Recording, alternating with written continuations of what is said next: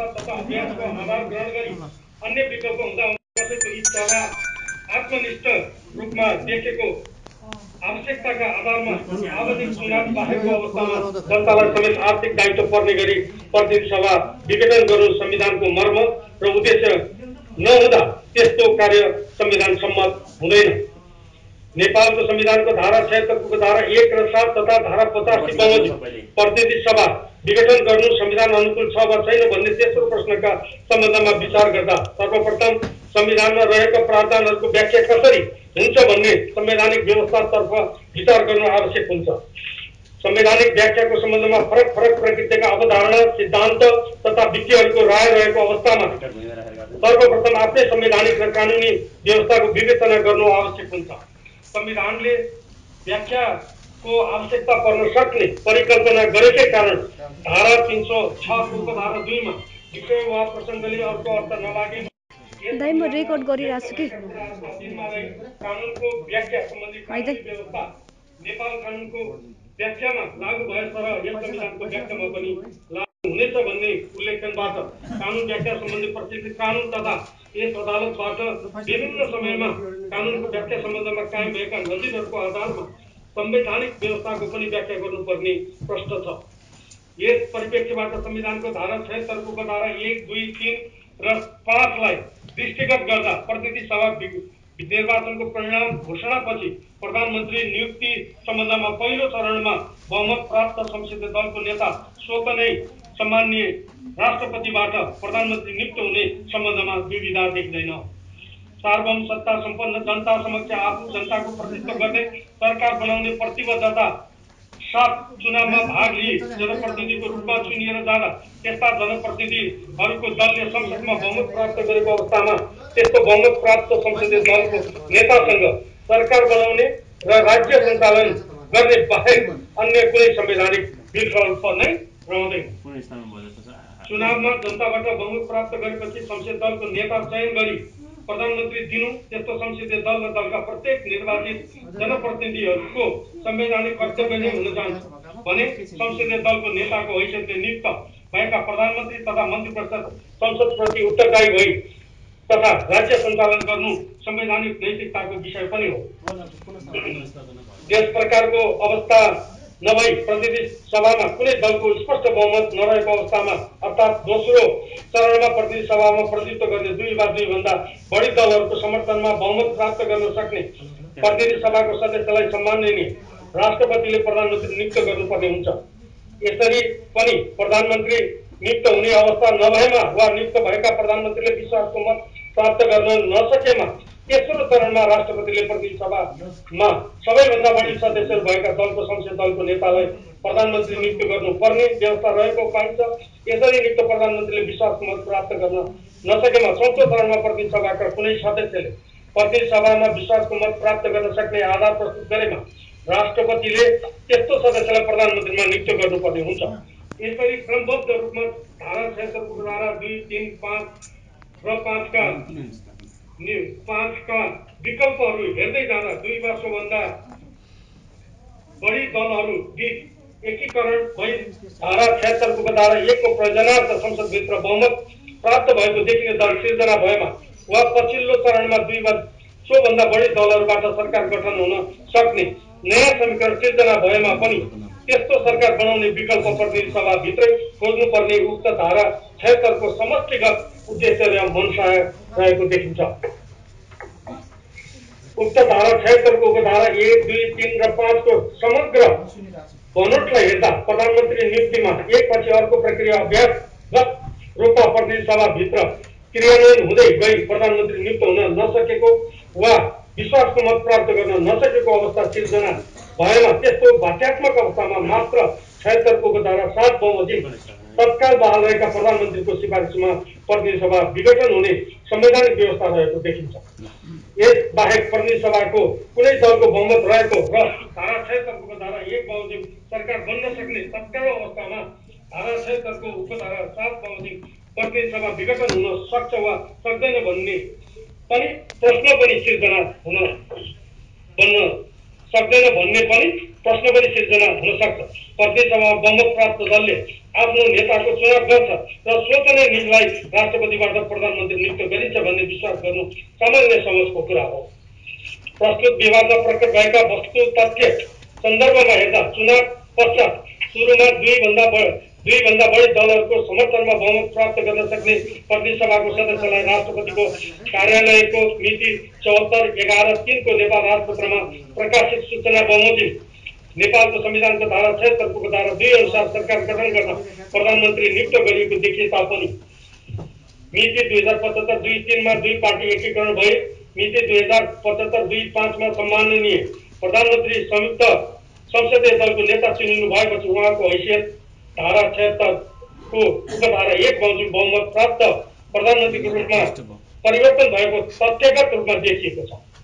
निवेदकहरूले उहाँको हैसियत धारा छत्तरको धारा एक बमोजिमको प्रधानमन्त्रीको रूपमा परिवर्तन भएको बारे नेपाल राजपत्रमा सूचना प्रकाशित नभएको भन्ने प्रश्न उठाए पनि प्रस्तुत विवादमा सम्माननीय प्रधानमन्त्रीलाई आफ्नै सत्तारूढ दलका केही सदस्यहरूले असहयोग गरेको कारण प्रतिनिधि सभा विघटन गर्नु परेको भन्ने उहाँको लिखित जवाबमा रहेको र विघटनको सिफारिस गर्दा प्रतिनिधि सभामा बहुमत प्राप्त संसद दलको नेताको हैसियत कायमै रहेको अवस्था हुँदा त्यसतर्फ प्रवेश गर्नुभन्दा धारा छत्तरको उपधारा एक बमोजिम हैसियत राख्ने प्रधानमन्त्रीलाई धारा छत्तरको उपधारा सात बमोजिम प्रतिनिधि सभा विघटन गर्ने अधिकार रहे नरहेको तर्फ नै केन्द्रित हुनु आवश्यक देखियो। जनताले चुनाव मार्फत संसद दिन्छ संसदले नै सरकार दिन्छ भन्ने मान्यतामा संसदीय व्यवस्था चलेको हुन्छ। संविधान निर्माताले आफ्नै देशका विगतका संवैधानिक अभ्यासहरू समेतलाई मध्यनजर राखी संसदले सरकार दिन सक्ने अवस्था र विकल्प कायम रहेसम्म प्रतिनिधि सभामा बहुमत प्राप्त बहुमत कायम रहेको संसद दलको नेतालाई नेपालको संविधानको धारा छयत्तरको उपधारा सातमा उल्लेखित प्रावधानहरूको अभ्यास गर्नुपर्ने अवस्थाको परिकल्पना गरेको देखिँदैन। अर्कोतर्फ प्रतिनिधि सभाको कार्यकाल सम्बन्धमा संविधानको धारा पचासको उपधारा एकमा एक संविधान बमोजिम अगावै विघटन भएकोमा बाहेक प्रतिनिधि सभाको कार्यकाल पाँच वर्षको हुनेछ भन्ने व्यवस्था रहेको र उक्त धारा पचासीको धारा एकको सन्दर्भमा धारा छयत्तरको धारा सातमा मात्र सीमित नगरी यस संविधान बमोजिम भन्ने शब्दावली परेको कारण चौहत्तरमा उल्लेखित संसदीय शासन प्रणालीको आधारभूत मूल्य र मान्यता बमोजिम सम्मान्य प्रधानमन्त्रीलाई संसद विघटनको असीमित अधिकार रहेकोले प्रतिनिधि सभा विघटनको लागि धारा पचासी र चौहत्तर आफैमा क्रियाशील धारा भएको भन्ने जिकिरतर्फ पनि तर्फ समेत विवेचना गर्नुपर्ने देखिन्छ। माथि उल्लेखित भए बमोजिम यो संविधान परम्परागत संसदीय प्रणालीको प्रतिबिम्ब नभई विगतका अनुभवहरूलाई समेत मध्यनजर गर्दै संविधान सभाहरूको लामो प्रयत्न पक्ष सहमतीय आधारबाट अन्तिमता प्रदान भएको दस्तावेज रहेको र संवैधानिक सर्वोच्चतालाई अङ्गीकार गरेको सम्बन्धमा विवाद नहुँदा प्रतिनिधि सभा विघटनका सम्बन्धमा संविधानमा शाब्दिक रूपमा व्यक्त अवस्था परिस्थिति र अधिकार बाहेक अव्यक्त अधिकार पनि रहेको भन्ने दावी स्वीकार योग्य देखिँदैन। संसदले प्रधानमन्त्री दिने र संसदले दिएको प्रधानमन्त्री सोही संसदप्रति उत्तरदायी हुने व्यवस्था धारा छत्तरमा रहेबाट सीमित सरकारको अवधारणा अङ्गीकार गरेको यस संविधानले। प्रतिनिधि सभा विघटनको केही पूर्वावस्थालाई लिखित रूपमा राखेको र अन्य अवधारणागत अधिकारलाई मौन वा सशक्त रूपमा क्रियाशील राखेको अनुमान गर्न सकिँदैन। त्यसैले धारा पचासी एकमा यस संविधान बमोजिम अगावै विघटन भएकोमा बाहेक भन्ने वाक्यांशले प्रतिनिधि सभा निर्वाचन पश्चात धारा छयत्तरको धारा एक दुई तिन पाँच बमोजिम प्रधानमन्त्री नियुक्त हुन नसकेपछि वा नियुक्त भएका प्रधानमन्त्रीले विश्वासको मत प्राप्त गर्न नसकेपछि प्रतिनिधि सभाका रूप प्रतिनिधि सभाका अरू कुनै सदस्य प्रधानमन्त्री हुने विकल्प समाप्त भए पश्चात धारा छयत्तरको उपधारा सात बमोजिम प्रतिनिधि सभा विघटन हुने संवैधानिक प्रावधान रहेको भन्ने अर्थमा नै बुझाउँछ। प्रतिनिधि सभाको कार्यकाल निर्धारण गर्ने परिचालनार्थ रहेका धारा पचासीको धारा एक प्रतिनिधि सभा विघटन गर्न अधिकार सिर्जना गर्ने स्वतन्त्र धाराको रूपमा रहेको भन्ने तर्क स्वीकार गर्न सकिँदैन। संविधानको धारा पचासी धारा पचहत्तरको धारा एकमा नेपालको कार्यकारिणी अधिकार र यो संविधान र कानुन बमोजिम मन्त्री परिषदमा निहित रहने र उपधारा दुईमा यो संविधान र कानुनको अधीनमा रही नेपालको शासन सञ्चालन गर्ने अभिभारा मन्त्री परिषदमा हुने व्यवस्था रहेको छ। धारा पचहत्तरको धारा दुईमा प्रयुक्त यी संविधान यो संविधान र कानुनको अधीनमा रही भन्ने उल्लेखनले कार्यकारिणी अधिकारको प्रयोग यही संविधान र कानुनको अधीनमा रहेर गर्नुपर्ने सम्बन्धमा विवाद हुन सक्दैन। प्रतिनिधि सभा विघटन सम्बन्धमा पनि संविधानले प्रदान गरेको अधिकार र निर्धारण गरेका सीमा बन्देजलाई अनिवार्य रूपमा पालना गरिनु पर्दछ। लिखित संविधानको लक्ष्य सीमित सरकार हुन्छ र हरेक अङ्गको अधिकारको सीमा रेखा संविधानले कोरेको हुन्छ। संविधानवाद सम्बन्धी अवधारणाले सरकारको शक्तिमा सीमितता राज्य शक्तिको विभिन्न अङ्गमा शक्ति र अधिकार समेतको पृथकीकरण र जनताप्रति उत्तरदायी सरकार सञ्चालन सम्बन्धी मान्यतालाई आत्मसात गरेको हुन्छ। राज्यको सबै अङ्गको अधिकारको सीमा रेखा संविधानबाट नै निर्धारित गरी शक्ति सन्तुलनको पालना प्रभावकारी बनाउनु नै लिखित संविधानको गुण हो। त्यस्तै धारा अन्ठाउन्नको अवशिष्ट अधिकार सङ्घ प्रदेश तथा स्थानीय तहको अधिकारको बाँडफाँड सम्बन्धी प्रावधानसँग सम्बन्धित रहेको पाइन्छ। संविधानमा कुनै तहले प्रयोग गर्ने गरी नतोकेको विषयमा सङ्घको अधिकार हुने व्यवस्था हुँदा प्रतिनिधि सभा विघटन धारा अन्ठाउन्नको अवशिष्ट अधिकारको सन्दर्भमा प्रयोग हुने व्यवस्था होइन। धारा तिन सौ छको धारा एकको खण्ड जमा राज्य शक्तिको परिभाषामा उल्लेख भएको अवशिष्ट अधिकारले धारा अन्ठाउन्नलाई समेत सङ्केत गरेको छ। सङ्घ प्रदेश र स्थानीय तह बिचको अधिकारको विभाजनमा शून्यताको अवस्था भएमा मात्र यो धारा पचास अन्ठाउन्न क्रियाशील हुने देखिन्छ। उक्त धाराहरूमा प्रतिनिधि सभा विघटन गर्न प्रधानमन्त्रीको अधिकार सिर्जना गर्ने प्रावधान नदेखिएबाट उक्त धाराहरूको धारणा उक्त धाराहरूको आवरणमा प्रतिनिधि सभा विघटनको सिफारिसलाई संवैधानिक रहेको भनी पुष्टि गर्ने संविधान सम्मत आधार नदेखिएको र माथि विवेचना गरिएको कारण र आधारहरूबाट धारा छयत्तरको धारा एक बमोजिम प्रतिनिधि सभामा बहुमत प्राप्त नेताको हैसियतमा रहनुभएका सामान्य प्रधानमन्त्रीलाई धारा छयत्तरको उपधारा सातको पूर्व शर्तहरू आकर्षित हुने अवस्था नै नरहने हुँदा उक्त धारा छयत्तरको उपधारा सात बमोजिम प्रतिनिधि सभा विघटनको सिफारिस गर्न पाउने वैधानिक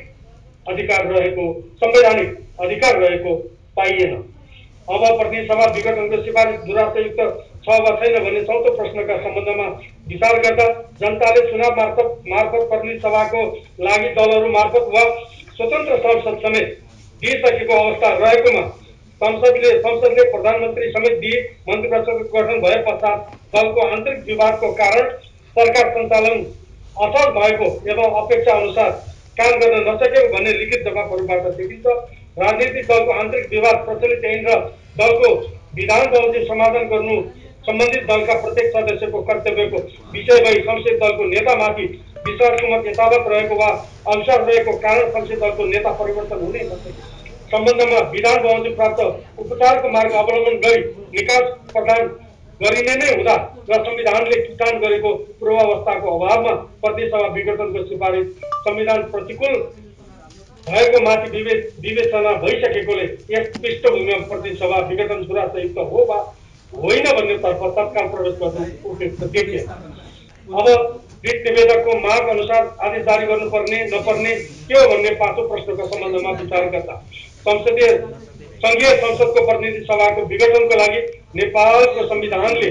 निर्दिष्ट गरेका निश्चित पूर्वावस्थाहरूको अभावमा तथा संविधानको आधारभूत मर्म मूल्य र मान्यता प्रतिकूल सम्मान्य प्रधानमन्त्रीले संविधानको धारा छयत्तरको उपधारा एक र सात र पचासी तथा संसदीय प्रणालीको आधारभूत मर्म एवं मूल्य मान्यता तथा हाम्रो आफ्नै र संसदीय प्रणाली भएका विभिन्न मूल्यहरूको अभ्यास बमोजिम भनी सङ्घीय संसदको वर्तमान प्रतिनिधि सभा विघटनका लागि सामान्य राष्ट्रपति समक्ष गर्नुभएको मिति दुई हजार सतहत्तर नौ पाँचको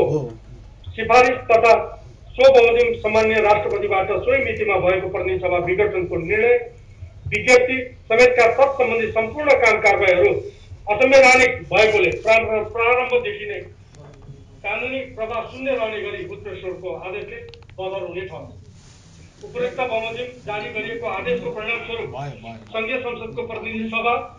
उक्त असंवैधानिक विघटन भन्दा पहिलेकै स्थितिमा पुनर्स्थापित भई यथा स्थितिले काम गर्न सक्षम र समर्थ रहेको छ। तसर्थ प्रतिनिधि सभाको छैटौँ अधिवेशन मिति दुई हजार सतहत्तर तिन अठारमा अन्त्य भएको र संविधानको धारा तिरानब्बेको उपधारा एक बमोजिम अनिवार्य रूपमा छ महिनाभित्र अर्को अधिवेशन आह्वान हुनुपर्नेमा उपयुक्त बमोजिम प्रतिनिधि सभा असंविधा- असंवैधानिक विघटन भएको कारणबाट समयावधि व्यतीत भए तापनि त्यस्तो विघटनको परिणामस्वरूप बैठक बस्ने मिति समेत स्वतः परिवर्तन भएको मानि। यो आदेश जारी भएको मितिले तेह्र दिनभित्र प्रतिसभाको अधिवेशन बोलाइ बैठकका लागि आवश्यक व्यवस्था गर्नु गराउनु भनी प्रत्यक्षीहरू मध्येका श्री राष्ट्रपतिको कार्यालय चितलिवास प्रधानमन्त्री तथा मन्त्री परिषदको कार्यालय सिंहदरबार सम्माननीय प्रधानमन्त्री केपी शर्मा ओली। ओली र सम्मान्य सभामुख अग्नि प्रसाद सापकोटा प्रतिनिधि सभाका प्रतिनिधि सभाका नाममा प्रभावले समेत जारी गरिदिएको छ। यो आदेशको पालना तत्काल कार्यान्वयन गर्नुपर्ने प्रकृतिको रहेको र आदेशको पूर्ण पाठ तयार हुन समय लाग्ने भएकोले यो संक्षिप्त आदेश जारी गरिदिएको छ। आदेशको जानकारी सम्बन्धित पक्षहरूलाई तत्काल ल, तपाईँहरूको ठुलो सहयोग भयो। तपाईँहरू सबैलाई निवेदक निवेदक तर्फबाट सहयोग गर्नुहुने सबै वरिष्ठ अधिवक्ताज्यूहरू अधिवक्ताज्यूहरू त्यस पछाडि सरकारको तर्फबाट प्रधानमन्त्रीको तर्फबाट